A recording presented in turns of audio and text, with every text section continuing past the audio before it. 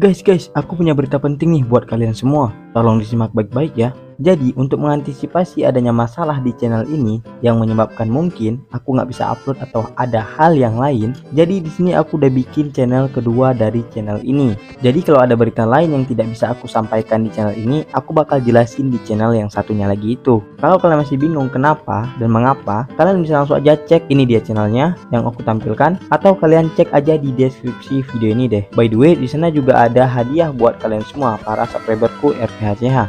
Jadi kalau kalian orang baik, jangan lupa mampir dan subscribe juga channel itu ya. Oke, terima kasih guys.